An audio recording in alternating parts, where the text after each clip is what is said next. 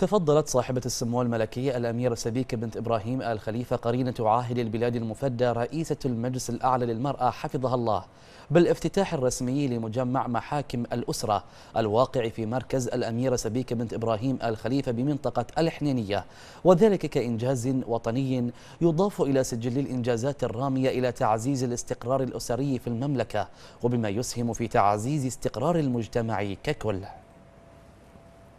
أعربت صاحبة السمو الملكي الأميرة سبيكة بنت إبراهيم آل خليفة قرينة عاهل البلاد المفدى رئيسة المجلس الأعلى للمرأة حفظها الله عن عظيم امتنانها وبالغ شكرها لحضرة صاحب الجلالة الملك حمد بن عيسى آل خليفة عاهل البلاد المفدى حفظه الله ورعاه على دعم جلالته لجهود المجلس الأعلى للمرأة الرامية إلى توفير بيئة مناسبة تنهض بالمرأة البحرينية وتمكنها من إطلاق كامل قدراتها وتفعيل تفعيل مساهماتها في مسيرة التنمية والازدهار الوطني المنشود في ظل المشروع الإصلاحي لجلالته. وخصت سموها بالذكر حرص جلالته على دعم عمل المجلس لاستكمال منظومة التشريعات الخاصة بالمرأة البحرينية. ونوهت سموها بما تحقق على أرض الواقع من إنجازات في هذا الإطار تجسدت في إصدار العديد من القوانين النوعية وفي مقدمتها قانون الأسرة. وأوضحت سموها أن تطوير التشريعات والقوانين والإجراءات ذات الصلة بالمرأة والأسرة عمل مستمر يتطور بتطور الحياة والمجتمع مؤكدة حرص المجلس الأعلى للمرأة على رصد تطبيق تلك التشريعات والقوانين وتقديم مرئياته بشأن تطويرها بالشراكة الفاعلة مع السلطتين التشريعية والتنفيذية.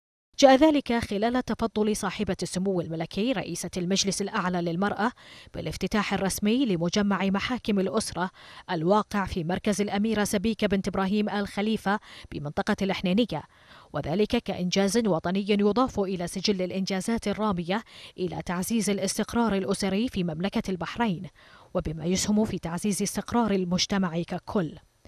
وفي هذا السياق جددت صاحبة السمو الملكي رئيسة المجلس الأعلى للمرأة إشادة سموها بالجهود الطيبة لشركاء المجلس الأعلى للمرأة من الجهات القانونية والعدلية الرسمية. وفي مقدمتها المجلس الأعلى للقضاء ووزارة العدل والشؤون الإسلامية والأوقاف. كما نوه سموها بالجهود التي تبذلها مؤسسات المجتمع المدني ذات الصلة بالمرأة في هذا الإطار.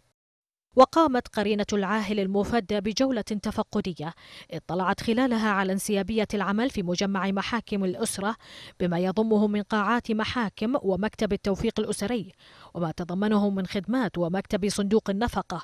وبما يحقق الهدف المنشود من إنشاء هذا المجمع والمتمثل في مراعاة خصوصية القضايا الشرعية الأسرية وتسريع إجراءاتها وتعزيز الاستقرار الأسري.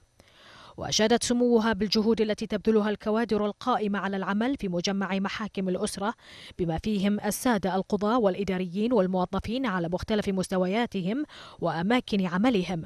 معربة عن فخرها بحضور المرأة في هذا المجمع في جميع مفاصل العمل بما في ذلك العمل القضائي. وأعربت صاحبة السمو الملكي رئيسة المجلس الأعلى للمرأة عن تطلع سموها لأن يسهم إنشاء مجمع لمحاكم الأسرة في توفير البيئة المواتية لتحقيق التوافق الأسري وحصر المشكلات ومعدلات الطلاق في أضيق نطاق ممكن. وأن تعزز المحاكم الأسرية من مكانتها كصرح وطني قادر على حماية حقوق الأسرة البحرينية ومساهما في رفع مستويات الاستقرار الاجتماعي في مملكة البحرين. مؤكدة سموها حفظها الله أن المجلس الأعلى للمرأة سيواصل مساندته لأعمال جميع الشركاء لكل ما من شأنه أن يحفظ المكانة الرفيعة للأسرة البحرينية.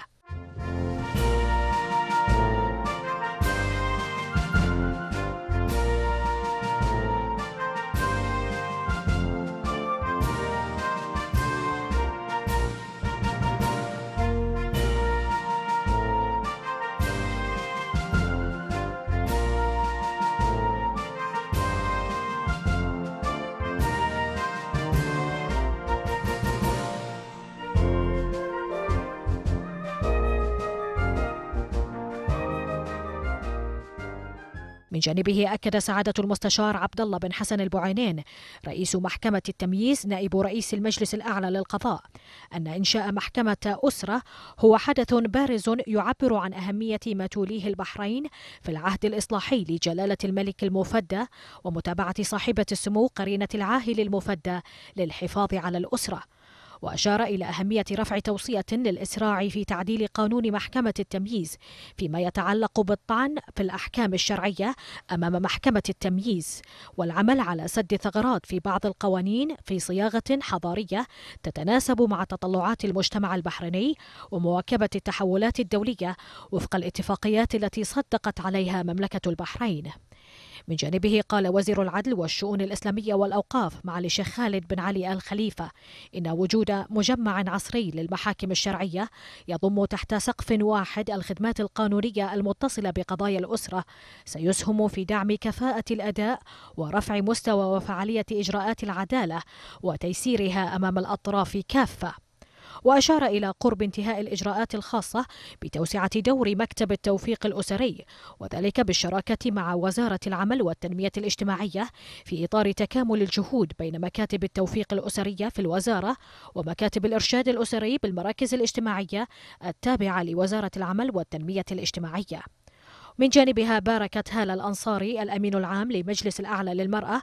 هذا الإنجاز الجديد الذي يأتي ضمن مسيرة عمل حافلة بوعود صدقت وأمال تحققت ومبادرات توالت مستكملة يوما بعد يوم ملامح المستقبل المشرق الذي استشرفه صاحب الجلالة الملك حمد بن عيسى الخليفة عاهل البلاد المفدى حفظه الله ورعاه حيث تحظى الأسرة البحرينية بجل اهتمام برامج العمل الوطنية بما يحفظ للمرأة البحرينية مكانتها ويستديم مساهمتها المؤثرة في المجتمع.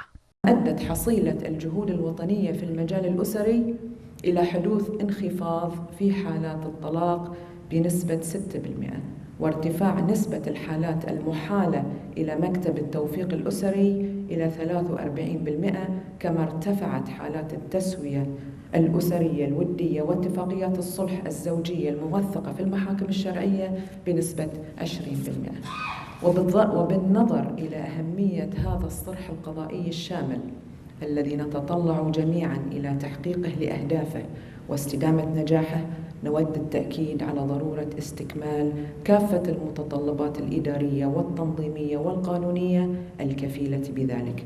فعلى سبيل المثال يتطلع المجلس الأعلى للمرأة إلى استكمال الكادر المتخصص والقانوني لمكتب التوفيق الأسري بمحاكم الأسرة الأسرة. افتتاح وتشغيل فروع للمكتب ببعض المراكز الاجتماعية التابعة لوزارة العمل والتنمية الاجتماعية وحل المشكلات التي تواجهها بعض الأسر عند تنفيذ أحكام الرؤية. تخصيص مكتب لإدارة التبليغ عن الدعاوي بمقر المحكمة. النظر في وضع الموقوفين المنظور في قضاياهم الأسرية باستحداث إجراءات بديلة تغنيهم عن ارتياد مبنى المحكمة كالتواصل الإلكتروني أو إيفاد مندوبين مختصين للموقوف مراعاة لظروف أسرهم وأخيرا وليس آخرا النظر. في إمكانية انعقاد محكمة التمييز بمقر محاكم الأسرة في ضوء ما تتجه له وزارة العدل من جهود واضحة ومقدرة ليكون هذا المقر جامعا لكافة سبل التقاضي المتاحة للأسرة البحرينية.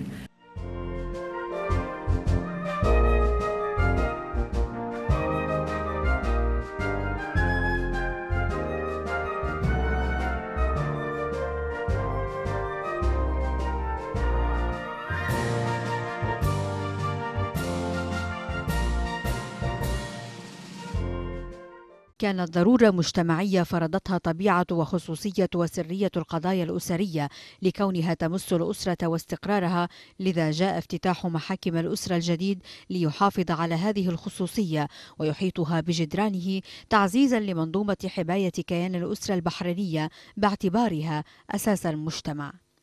طبعا أهمية محاكم الأسرة أنها تأتي في ضوء فلسفة تم عكسها في إصدار قانون موحد للأسرة. هذه الفلسفة وهذه الروح التي انعكست في هذا القانون يجد هذا المبنى آه، نفسه كمكان لتطبيق هذه الروح داخله. بمعنى المبنى في طريقة تقسيماته في الطريقة التي يتم التعامل فيها مع قضايا طرق سير القضايا. إيجاد أماكن ملائمة للتوفيق الأسري كي ينجح يعطي تفعيل لمواد هذا القانون تجدينها حية في هذا المبنى. هذا الصرح اليوم هو دلالة على أن هناك اهتمام من الدولة بالأسرة وبالمجتمع البحريني. اليوم آه هذا الصرح هو علامة فارقة في العمل القضائي النموذجي الذي جعل خصوصية الأسرة وخصوصية المرأة في في أن يكون هناك لها آه مكان خاص ومكان لائق بأن آه تتعامل مع القضايا الأسرية في هذا المجال. إن وجود مجمع عصري لمحاكم الأسرة يضم تحت سقف واحد. الخدمات القانونية والمرتبطة بقضايا الأسرة سيعزز من فعاليات إجراءات العدالة وسيكون انعكاسا حقيقيا لتطبيق قانون الأسرة الذي أصدر مؤخرا. طبعا هناك قانون آه، أسري موجود فكان لابد من وجود آه، هذه آه، طبعا المحاكم الأسرية أن تكون منفصلة عن المحاكم بشكل عام. طبعا وجود هذه المحاكم الأسرية في البحرين تعتبر قفزة نوعية واقعا في سلسلة القفزات النوعية التي تتميز بها مملكة البحرين. في عهد جلالة الملك المفدى يفتتح صرح من صروح الأسرة في هذا المجمع المتكامل الذي يقدم كل الخدمات القانونية والشرعية للأسرة البحرينية والأسر المقيمة. هذا الصرح الذي صنع على عين صاحبة السمو الملكي الأميرة سبيكة بنت إبراهيم آل خليفة حفظها الله والتي بارك الله في جهودها ساعية حثيثة على أن تنصر آه، القضايا آه، العدلية والقضايا الشرعية للأسرة البحرينية في إطار الخصوصية. إنه ليوم تاريخي ويوم متميز واستثنائي لمملكة البحرين وللأسرة البحرينية. يوم افتتاح مبنى المحاكم الشرعية محاكم الأسرة. هذا اليوم الذي شرفت فيه آه، صاحبة السمو الأميرة سبيكة بنت إبراهيم قرينة عاهل البلاد المفدى وافتتحت هذا المبنى رسميا وحققت الأمنية التي كانت آه، تتمناها سموها بل يتمناها كل شعب البحرين في أن يكون للأسرة البحرينية محاكم متخصصة ومتنوعة ومحاكم تضم بين جنباتها جميع المرافق وجميع الخدمات التي تحتاجها الأسرة. تعزيز منظومة قضاء الأسرة والخدمات القانونية وتخصيص محاكم أسرية تحفظ خصوصية هذه القضايا تأتي استكمالا للجهود الوطنية في حفظ حقوق الأسرة وضمان استقرارها. هذا الصرح يعتبر اليوم معلما مهما وشاهدا على تطور السلك القضائي في مملكة البحرين. فهذا الصرح لم يراعي خصوصية القضايا الأسرية فحسب وإنما وجدت طريقها إلى التسوية بعيدا عن أروقة المحاكم الأخرى. سهر عصفور لمركز الأخبار تلفزيون البحرين.